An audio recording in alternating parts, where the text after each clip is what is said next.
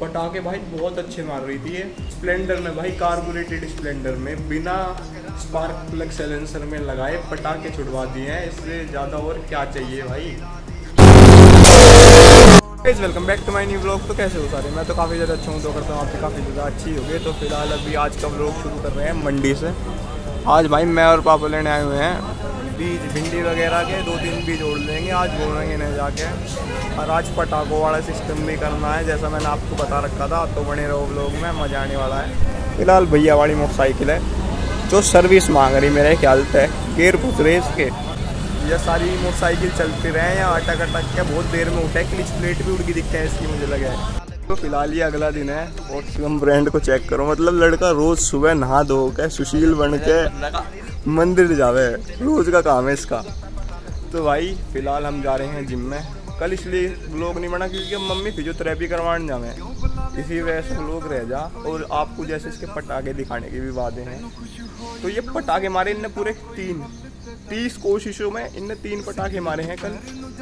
काफ़ी अच्छे तो ये खड़ी अपनी मोटरसाइकिल फ़िलहाल चलते हैं जिम में, करेंगे प्रैक्टिस तो चलो।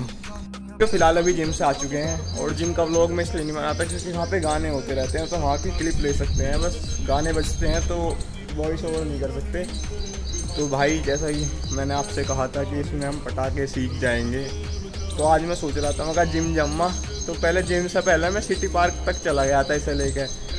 तो फिर उसमें तीसरे गेयर में, तीसरे गेयर में ला के थोड़ी सी, हल्की सी, बहुत ही हल्की सी रेस लेके बटन ऑन ऑफ़ कर दो तो भाई बहुत ज़ोर का पटाखा आ रहा है एक। फिर इनने मारे कम से कम पाँच छः पटाखे।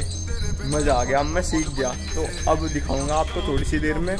रवि आ जाए मेरा बड़ा भाई, वो पीछे बैठ जाएगा, फ़ोन पकड़ लेगा और मैं पटाखे मार दूँगा, ठीक है? चलो। तो फ़िलहाल अभी आ गए हैं। वैसे तो फूल माला वगैरह लेने जा रहे थे काम से। तो अब पटाखे छोड़ने हम सीख चुके हैं। अब सिमा हम आपको दिखाएगा, सुशील बच्चा, कि कैसे छोड़ते हैं। चलो भाई सिम सैलेंसर पे ध्यान रखिए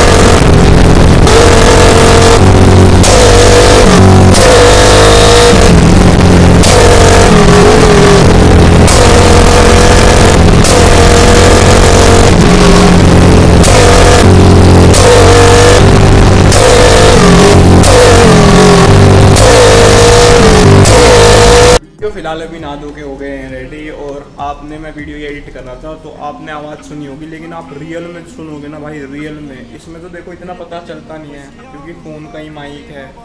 लेकिन आप हेडफोन लगा के या फिर ईयरफोन लगा के सुनना तो आपको थोड़ा बहुत अंदाज़ा होगा। पटाखे भाई बहुत अच्छे मार रही थी ये, और लोगों के रिएक्शन आपको किसी दिन मैं नोटिस करवाऊँगा, अगर आप कमेंट करके बताओगे तो।